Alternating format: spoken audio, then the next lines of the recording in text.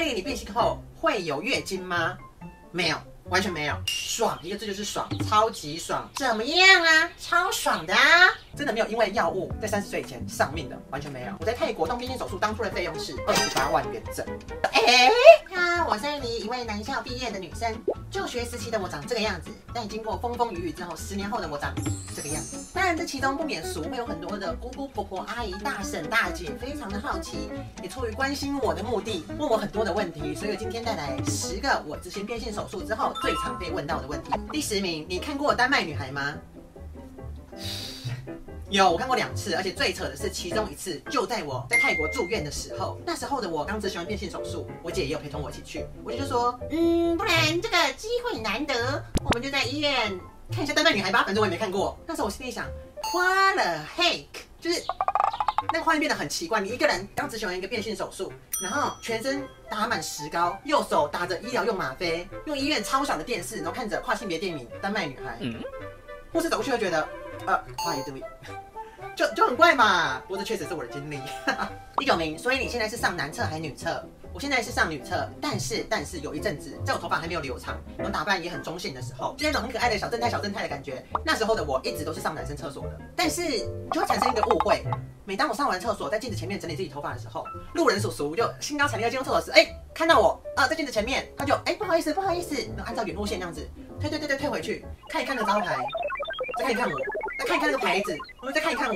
然后这样子重复来回三次，然后我那时候就，你知道我在那边也很尬，我也知道当好人出来打圆场说啊没有啦没有啦，其实我是男生呐这样子，哈哈哈哈，用很假的笑容这样子，然后大叔就在那边搭腔说啊很漂亮啊，啊对啊。我场面就一整个很尬，通常上一次厕所会发生两次这样子的问题，就大叔进来又出去。重点是重点是，有些大叔还会进行个人访谈时间，他开始问说，哎，所以你从小就开始穿女装吗？还是你爸妈同意吗？我想说，花了 heck，你不要笑想我的屁屁还是纯洁的。第八名，所以你是 gay 吗？这个问题大概我在高中的时期，一天被问三次都算是很客气了。音乐课还是说，哎，你是 gay 吗？阿数学课这一题，你是 gay 吗？每天不论体育课、数学课什么课都要被问三次，但这题我超能理解大家为什么会一直想问，因为有时候连我自己妈妈都搞不太清楚。简单来说，性别不等于性向，所以以我为例，我从男生变性为女生，所以现在的我是一位女性，也持有女性的法定身份证明，所以我是一位女性，喜欢男生就是，对，就是普通子女，就没有什么特别的称呼，所以不会是 gay 又或者是蕾丝边之类的名词。OK，All right，第七名，我觉得你现在很好。这句话是我每次去户政事务所都会听到的问题。这个情境就是，我走向那个柜台阿姨，跟阿姨说：“哎，不好意思，我因为变性的关系，所以要办理文件上面的变更。”阿姨猛然一抬头，啊，我觉得以前当女生很好啊，没有什么问题，为什么突然要变性？我心里就一整个百感交集。虽然你知道这个算是一种称赞，然后我心里也很爽，我偷偷的窃笑，但是我还是很想大声的跟那位阿姨说：现在的我是 after。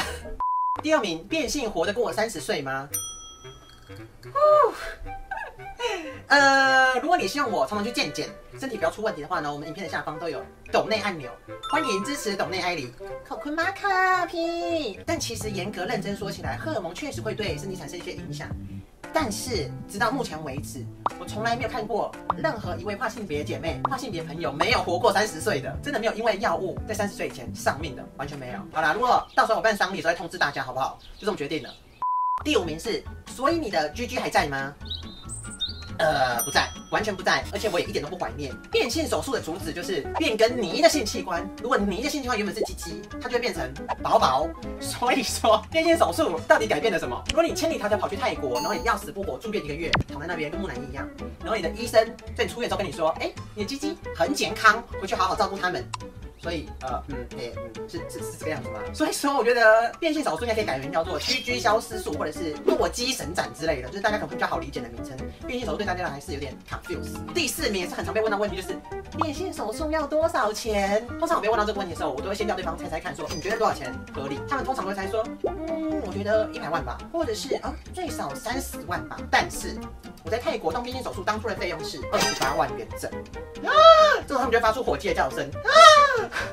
我说，哎，我说天哪，怎么会比想象中的还便宜？太划算了吧！但是我心里会想说，划算个鸟鸡蛋啊！你是有这个需求吗？第三名是变性手术痛吗？超级爆炸炸炸炸痛。我在执行变性手术之前，其实已经做过三次那种全身麻醉的手术，但是但是变性手术仍然是在我心目中地狱等级的可怕。手术时间高达八个小时，整整两个月不能走路，身上各种出血，各种七孔流血。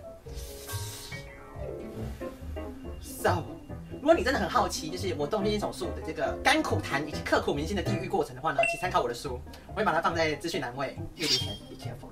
第二名是一个很常被问到的是，艾莉，你变性后会有月经吗？没有，完全没有，爽，一个字就是爽，超级爽，怎么样啊？超爽的啊！你还没走。但认真说起来，其实也没有多爽，因为你在执行变性手术之后，会需要用到一个特殊工具。Wait，等一下，Wait。噔噔噔噔噔，医生会发给你像你这样子一根透明黄金的棒子。至于要怎么保养呢？就是我们俗称扩张运动，其实跟月经比起来也没有到方便多少。再来是龙灯排行榜第一名的就是艾莉，变性之后能怀孕吗？不能，完全不能，完全不能。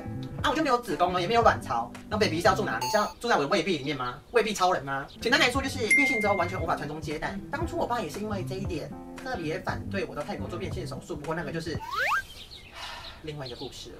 但是说真的，如果以后我跟另一半想要有 baby 的话，我觉得最大的可能性还是领养吧。但是你可能会说，哎，艾莉，你可以做人工受孕啊，代理孕母啊，现在科技很发达了。但是你要知道，现在的我不止没有卵子，同时也没有精子，就是一个无子细胞的概念，你理解吗？你就是没有材料，你俩就没有。那你要如何变出那个东西？所以除非未来有什么神秘的黑科技，比如说抽血配对啊，就可以变出小宝宝之类的，或许我还有机会。对，那时候我就会好好的考虑。好啦，以上就是十个我变性之后最常被问到的问题。喜欢的话呢，帮我订阅、按赞、分享。更多我变性之后的日常生活影片，请看我的频道。我们下回见。